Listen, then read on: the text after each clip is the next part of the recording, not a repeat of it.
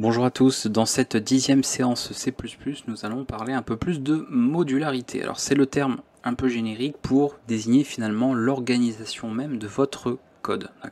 On va vouloir apporter davantage de modularité pour plusieurs avantages finalement à la réalisation de notre projet. Alors on peut avoir des cas où vous allez avoir besoin bah, d'une meilleure organisation de votre code, puisque vous allez avoir quelque chose de plus conséquent par la suite, que vous travaillez d'ailleurs un seul ou à plusieurs, hein, ça ne change pas, ou même à titre personnel ou professionnel. Forcément, sur des petits programmes comme vous pouvez le faire lorsque vous êtes en train d'apprendre, l'utilisation d'un seul fichier suffit. C'est ce que nous faisions. J'ai oublié de changer de scène, mais c'est ce que nous faisions voilà, ici, d'accord Avec un seul fichier pour nous entraîner, pour vérifier, découvrir quelques concepts. Mais par la suite, vous allez travailler sur plusieurs fichiers et vous aurez cette nécessité-là pour mieux organiser votre code et mieux vous y retrouver. Le côté aussi important, nécessaire, j'ai envie de dire essentiel quand on travaille aussi à plusieurs dans ce cas-là, c'est d'un point de vue sécurité. C'est-à-dire, outre l'aspect de bien organiser son code, d'avoir plus de lisibilité, de pouvoir réutiliser son code, on va en parler un petit peu après, c'est l'aspect sécurité. Parce que déjà, le fait d'avoir donc plusieurs personnes qui travaillent sur un même projet, vous n'allez pas leur donner la responsabilité de l'ensemble du projet, d'accord? Pour des justement pour des questions de sécurité. Parce que s'il y a le moindre problème avec un employé, par exemple qu'il introduit un bug dans le programme, eh bien s'il a eu accès à l'ensemble du projet, il peut introduire des bugs un petit peu à droite à gauche. Le fait d'avoir des équipes de développeurs qui soient occupées à certaines parties même d'une application, certaines parties d'un projet, dans un pôle différent, permet en fait bah, d'isoler les problèmes et de les garder dans des secteurs, dans des parties on va dire bien distinctes. Il y a aussi un côté sécurité, point de vue sécurité du côté de l'entreprise. Prenons l'exemple par exemple de Microsoft avec le développement du système d'exploitation Windows hein, propriétaire. Microsoft n'a certainement pas envie que des, développeurs divulguent des données personnelles du système d'exploitation sur Internet. Donc si vous donnez l'accès à la totalité du code source du système d'exploitation Windows à un seul employé, bah, forcément, le jour où il veut divulguer des informations, transmettre quoi que ce soit, bah, comme il a accès à tout, voilà, si tout fuite, c'est beaucoup plus grave que si par exemple il fait fuiter quelques parties seulement euh, de l'application, du programme, de l'OS, etc. Donc d'un point de vue sécurité, c'est important aussi d'avoir cette modularité pour ne pas, comme on dit, mettre que l'on mette tous ses œufs dans le même panier, hein, comme le veut le proverbe. Voilà, ça rejoint un petit peu tout à fait ça. Et Maintenant, pour terminer, le côté important, bah, justement, c'est ce côté de réutilisation, c'est-à-dire que vous allez ensuite pouvoir créer bah, des modules, des bibliothèques, et vous pourrez comme ça par la suite réutiliser ce code. Parce que quand vous avez tout dans un seul fichier, bah, le problème c'est qu'après, si vous voulez réutiliser ce code dans un autre projet, vous devez vous amuser à faire des copier-coller, vous devez vous amuser à réorganiser, prendre les parties qui sont importantes, celles qui ne le sont pas, là où le développement d'une bibliothèque de manière voilà, bien modulaire, où tout est bien séparé comme il faut, bien organisé, vous permettra ensuite bah, d'être réutilisé tel quel. Vous aurez juste à copier-coller en fait l'ensemble des fichiers ou des répertoires à récupérer, et c'est ce qui constitue votre bibliothèque que vous pourrez réutiliser ailleurs. Donc il y a tout ce côté pratique là. Alors comment que ça se passe, puisqu'on va parler d'organisation de code, c'est que forcément, je vous l'ai dit un petit peu, c'est que nous allons passer par la création d'autres fichiers, voire même si on veut par la suite de répertoires, pour avoir cette organisation là. Voyons un exemple très simple où je viendrai créer un autre fichier source. Alors je rappelle que la petit, petit rappel, hein, la fonction main il n'y a qu'une seule, hein, c'est le point d'entrée de l'exécution du programme.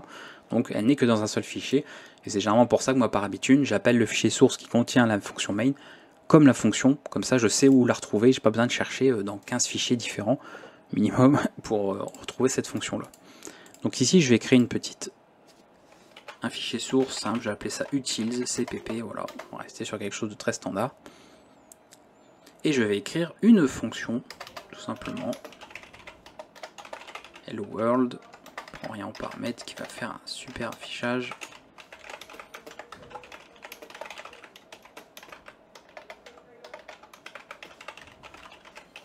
Voilà, bien sûr, on inclut ce qu'il faut, mais ça on va en parler un petit peu après aussi, parce qu'on utilise l'objet cout, et voilà, nous avons notre fichier là.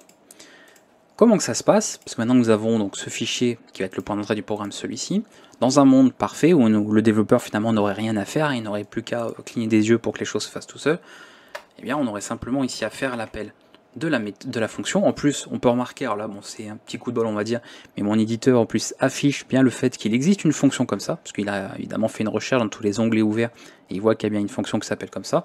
Donc on pourrait se dire, bah super, s'il l'affiche, c'est qu'a priori l'accès est bon, donc je devrais pouvoir l'appeler d'ici. Donc on va tenter de se baser par les facilités de notre éditeur ou notre environnement de développement. Et maintenant, si on passe à la compilation, on va voir un petit peu ce que l'on obtient. Donc std c++20 wall, je vais arriver, secours. main cpp. Alors d'ailleurs, je fais bêtise, en fait, il faut compiler tous les fichiers sources. On peut les faire un, à un ou alors avec le petit joker, un petit wildcard, l'étoile, l'astérisque. Et dans tous les cas, nous obtenons cette erreur qui nous indique bah, que Hello World n'a pas été déclaré dans ce contexte, donc elle n'existe pas. Le contexte, bah, c'est le fichier en question, hein, dans la portée globale de ce fichier. Il n'y a pas de fonction Hello World. Effectivement, hein, il suffit d'ouvrir les yeux pour voir que c'est bien le cas. Cette fonction Hello World est définie ici, donc il va falloir en tout cas pouvoir ajouter un fichier dans l'autre, pouvoir inclure un fichier dans l'autre. Alors, naïvement, on pourrait penser peut-être justement qu'en faisant un include de quelque chose comme ça, on arriverait après tout à le faire, puisque ici, après tout, on a vu que si nous pouvons utiliser par exemple l'objet cout, on avait indiqué au début du cours qu'il provenait de cette en-tête-là, on va en parler un petit peu après. Donc ça montre bien qu'en incluant quelque chose dont on ne sait pas encore, on ne sait pas encore plus, je n'ai pas trop abordé hein, jusqu'à présent, on peut utiliser ici des objets qui n'ont pas été définis ailleurs. Donc a priori, ça fonctionne. Le problème, c'est qu'ici, nous incluons des fichiers d'entête. Et ça, ce n'est pas un fichier d'entête. C'est un fichier source qui contient les implémentations. Donc, par exemple, bah, le code en fait que vous écrivez pour vos fonctions ou l'utilisation de structures, de classes, d'énumération, comme on le verra un peu tout au long du cours. Pour, avoir un fichier d'entête, eh bien, il va falloir le créer. Donc déjà, je vais retirer ça parce que c'est évidemment une énorme erreur, c'était pour vous montrer. Et on va créer le fichier d'entête correspondant à celui-ci. Donc là, pas besoin de vous embêter, vous créez en fait un fichier d'entête qui va avoir tout simplement le même nom, mais avec une autre extension. Donc en langage C, on utilise le point .h. Vous pouvez garder cette même extension pour C++, ça fonctionne, hein, c'est compatible. Pour être parfaitement rigoureux, on va plutôt mettre HPP, voilà, comme CPP, pour indiquer que c'est un fichier d'entête pour C++, comme ça on est sûr. Voilà, donc là d'ailleurs, que l'éditeur ici, moi, il le colore différemment pour faire la différence entre les deux. Maintenant que nous avons ça, nous allons pouvoir, ici, écrire les définitions. L'intérêt d'avoir un fichier d'entête comparé au fichier d'implémentation, eh bien c'est de bien séparer les deux. C'est ça ce principe de modularité, d'où le titre de la vidéo. C'est que dans notre fichier d'entête, nous allons voir tout ce qui est abstrait, d'accord? L'abstraction, la couche d'abstraction de l'ensemble, les interfaces, c'est un peu la vitrine, d'accord? C'est là qu'on fait les définitions, qu'on met toutes les choses, donc euh, les définitions, on déclare nos fonctions, on définit des classes, on définit des énumérations, des structures, ce que vous voulez. Et ensuite, on utilise tout ça et on implémente tout ça dans un fichier ou dans des fichiers sources correspondants, d'accord? Donc pour ce faire, Ici, je vais avoir besoin de définir cette fonction dans mon fichier d'entête pour qu'on puisse ensuite être retrouvé dans d'autres fichiers sources. Donc pour cela, vous prenez la signature de la fonction, plus son type de retour, parce que rappelez-vous que le type de retour en C++ ne fait pas partie de la signature, il n'est pas pris en compte, et ensuite terminer par un point virgule, puisqu'un prototype, on l'a vu rapidement précédemment, se termine par un point virgule. Donc ceci est le prototype de la fonction hello world, d'accord? Ça va permettre au compilateur, lorsqu'il va en fait lire ce fichier en tête, lorsqu'il va l'inclure, de prendre connaissance qu'il a une fonction dont l'identificateur, son nom est hello world, qui n'attend aucun paramètre et qui ne retourne rien, d'accord? N'a aucun type de retour. Donc ça, il va pouvoir ensuite l'utiliser. C'est le minimum.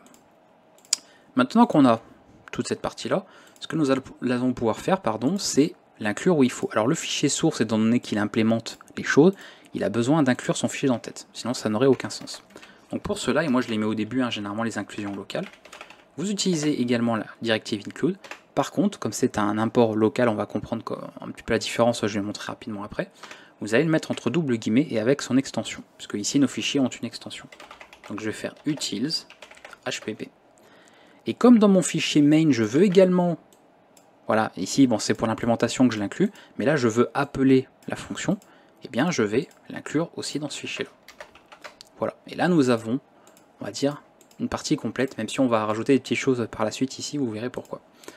On va recompiler cette fois-ci pour voir un petit peu le changement que nous avons. Donc là, normalement, ça va compiler, je lance le programme, et nous avons bien l'appel à la fonction qui est fait. Donc ça fonctionne sans problème. Voilà un petit peu comment ça se passe. Pour voir la différence un petit peu de ce que nous avons là, vous voyez ici, quand on faisait les inclusions, IOStream, d'accord, ou même quand on, par exemple, on inclut euh, de quoi utiliser ensuite le type chaîne de caractères, hein, donc le type string, je vais y arriver, nous faisions ça comme ça.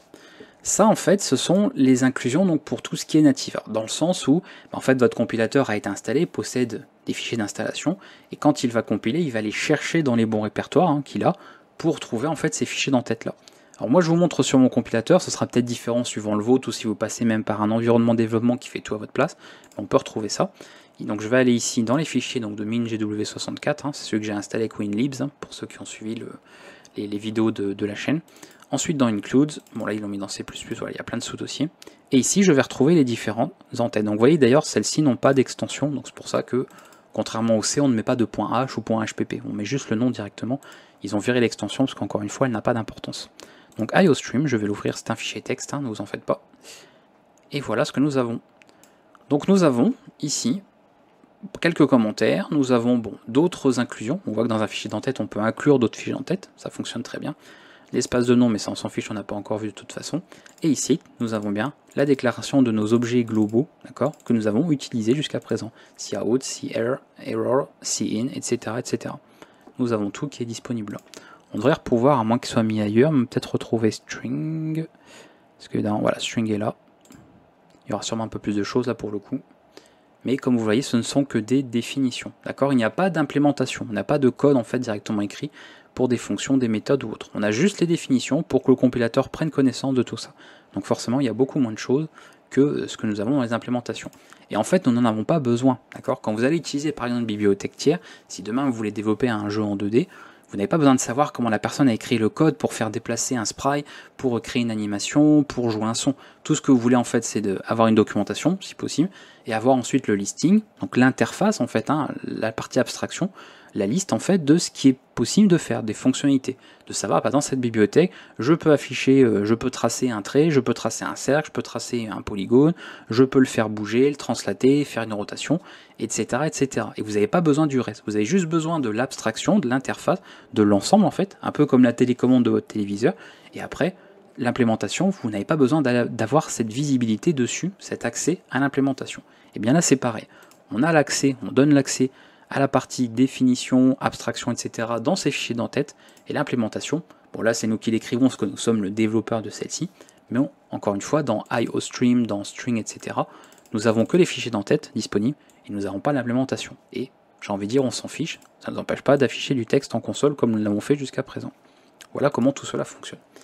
Alors ici, on va rajouter une petite sécurité pour éviter les inclusions multiples. Notamment, par exemple, si un jour vous voulez inclure un fichier qui, en inclut un autre, mais que ce même fichier inclut l'autre. En fait, A inclut B et B inclut A. Voilà, qu'il y ait des, en fait, des inclusions circulaires comme ça, où un fichier dépend toujours d'un autre, et le compilateur forcément ne saura pas dans quel ordre les traiter et risque de tourner un petit peu en boucle. Donc ce qu'on va faire, c'est une petite condition pour dire bah, si le fichier n'a pas été défini, donc en fait si en fait le fichier n'a pas déjà été inclus, on l'inclut, donc on crée en fait une constante, on va définir une constante, et ça servira en fait au compilateur pour savoir que ce fichier a déjà été inclus ou pas. Et pour ce faire, c'est très simple aussi, vous utilisez donc une macro, ce sont des directives de préprocesseur également, ifndef, pour dire s'il n'a pas été défini. Et vous définissez une constante du nom que vous voulez, le plus simple bien sûr, c'est euh, de mettre par exemple le nom, euh, comme c'est une constante majuscule du fichier, donc moi généralement je mets un double underscore et comme ça, des fois je ne mets pas de underscore, encore une fois il n'y a pas de règle string, vous mettez ce que vous voulez, et ensuite pour dire, bah, s'il n'est pas défini, cette constante n'existe pas, c'est qu'a priori le fichier n'a pas été écrit, n'a pas été lu, pardon, donc je vais la définir à ce moment-là. Voilà, je définis ça, et je présente bah, toutes les définitions d'implémentation. Alors pareil, moi je mets, ça en retrait, vous n'êtes pas obligé de le faire, comme vous voulez, hein, évidemment, vous savez qu'en C++, la mise en forme de votre texte, de la syntaxe, c'est vous qui voyez, moi j'aime bien que ce soit écrit comme ça, mais vous faites comme vous voulez. Et là, la fin de condition, endif. Voilà. Donc tout est, vous voyez, c'est tout dans une condition en fait. Hein. Ça c'est dans le cas où c'est en fait euh, non défini. Et ça fait qu'à un moment donné, s'il y a une autre inclusion qui est prise ou que ce fichier est à nouveau lu, bah, s'il voit que cette constante existe, il saura que le fichier a déjà été inclus, donc il ne va pas le refaire. Et vous n'aurez pas du coup de problème d'inclusion circulaire, etc. Donc ça, prenez l'habitude de le faire dans l'ensemble de vos fichiers. Voilà, vous mettez un petit if and def, un nom de constante, vous répétez le nom de la constante dans un define ici, vous n'oubliez pas de fermer la condition, la macro, et ensuite voilà, vous mettez toutes vos définitions à l'intérieur. Pareil, si vous voulez faire d'autres includes, il bah, faudra les faire ici, tout simplement.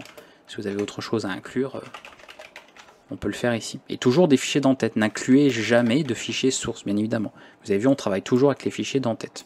Donc ça, c'est important, parce que je l'ai vu assez souvent en C, notamment, ou même en défense C++ également, où les gens mettaient des fichiers sources dans les inclusions. Donc évidemment, on ne fait pas ça. Voilà, je pense que tout est dit pour cette partie-là. Donc ensuite, bah, ce qui est bien, ce qu'on peut après utiliser un petit peu ce qu'on veut, et organiser ça. Alors là, c'est un chemin, d'accord? Ça fonctionne tel quel. C'est-à-dire que si par la suite, je veux déplacer ça dans un répertoire, évidemment, il n'y a pas de problème, d'accord? Je, vais mettre ça dans SRC. Je vais fermer les deux là, parce qu'évidemment, ils vont bouger. Hop. On va virer le, fichier là. Et après, ce qui change juste, bah, vous répétez en fait. c'est un chemin relatif, donc vous mettez euh, partir de SRC, et ça revient au même. Utile. Donc lui, je l'ai changé. Lui, bon, bah, il est au même endroit, donc on va pas le changer. Voilà, presque pareil. Bon, normalement, ce qu'on fait en fait, en réalité, hein, pour être un peu plus organisé, c'est qu'on met bah, les fichiers d'entête dans un include et on met les fichiers sources soit là, soit dans un fichier SRC. Donc en fait, j'aurais pas faire comme ça. On va faire ça propre hein, pour terminer la vidéo. Voilà, on va mettre ça dans l'include et les SRC, on va mettre ça. Euh, le main, on peut même le mettre. On peut le mettre là en fait. Comme ça, voilà. Hop le include il là. Comme ça on sépare les choses. Donc on peut vraiment organiser. Ça c'est pareil, soit on me demande des fois quelle, quelle arborescence faut faire, quelle, organisation. Bah, le meilleur exemple, alors je pourrais, j'avais déjà fait quelques vidéos pour montrer des exemples. Le problème c'est qu'il n'y a pas de normes, d'accord? Vous n'avez pas obligation de suivre une certaine architecture, à moins d'utiliser des frameworks, hein, des quadriciels ou des outils qui vous obligent à suivre une arborescence particulière. Et dans ce cas, de toute façon, on vous donne pas le choix. Mais sinon, franchement, vous organisez votre projet comme vous voulez. Et si vous voulez vous inspirer d'autres personnes, bah, téléchargez des projets open source, que ce soit des gros projets ou des petits, puis vous verrez comment les gens organisent ça. Alors souvent vous allez retrouver un peu ce principe hein, de répertoire euh, SRC, include, lib hein, pour les bibliothèques précompilées ou ce genre de choses, mais encore une fois, il n'y a pas de règles strictes. Voilà, il y en a des fois qui mettent un dossier pour les binaires, un dossier pour les assets qui est séparé, d'autres c'est un, dossier resource, euh, d'autres c'est voilà, autre chose, dans un fichier, un dossier d'image, un dossier d'audio. Voilà, encore une fois, il n'y a pas de, de norme de toute qui dit il faut obligatoirement faire comme ça d'un langage à l'autre. Donc vous pouvez avoir l'arborescence que vous voulez. Le but, encore une fois, c'est que ce soit bien organisé pour vous ou pour l'ensemble des gens si vous êtes à plusieurs à travailler dessus. Et c'est tout. Voilà, vous prenez pas la tête sur comment je crée mes dossiers, tout ça.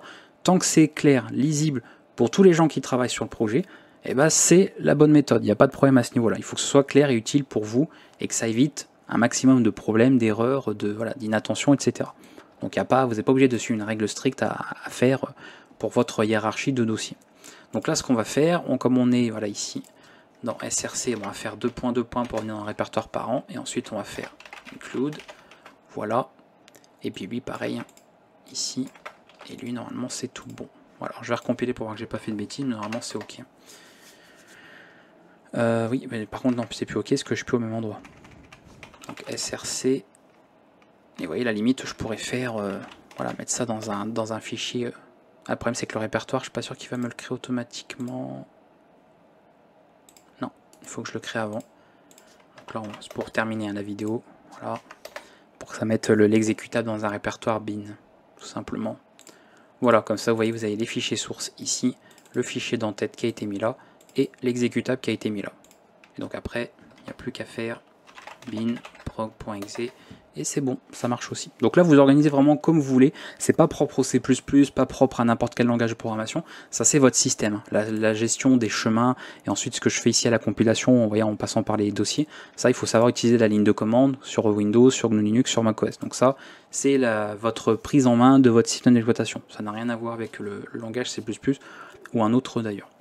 Et je pense que nous aurons terminé là-dessus. Alors bien évidemment, quand on, abordera les structures, les classes, nous verrons bah, comment avoir cette organisation. On le fera de toute façon systématiquement. Je ne vous ferai pas travailler avec des classes dans un seul fichier. Généralement, je vous, vous prendrai euh, directement l'habitude bah, que vous sépariez bien les définitions des implémentations. Et pareil, quand on travaillera sur des modèles, donc les fameux templates, vous verrez que pour les templates, c'est un peu particulier, comme on travaille un petit peu pour séparer les choses avec les templates.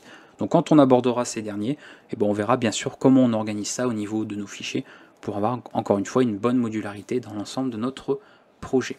Je pense n'avoir rien oublié, en tout cas euh, tout l'essentiel a été dit pour ça, donc n'hésitez pas maintenant, prenez cette habitude. Moi encore une fois, je le ferai pas forcément dans chaque vidéo, d'accord? Dans les vidéos prochaines, sauf s'il y a nécessité de le faire, je vais pas forcément à chaque fois tout séparer, d'accord? Parce que je suis là pour vous faire des vidéos les plus simples possibles, plus abordables, pour parler d'un concept bien précis. Donc je vais pas perdre 5 minutes à chaque fois à créer toute une arborescence de fichiers pour euh, un Hello World, d'accord? Donc à vous de le faire après de votre côté, de vous forcer à bien organiser les choses pour euh, écrire, organiser votre code correctement. Mais je vous dis, prenez pas forcément en compte ce qui est fait dans les vidéos, parce que moi j'essaye d'aller toujours à l'essentiel pour que vous ayez bien compris, vous assimiliez les notions que nous voyons ensemble. Voilà.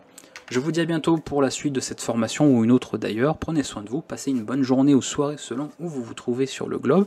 Et à très bientôt pour de nouvelles aventures sur la chaîne. Ciao, ciao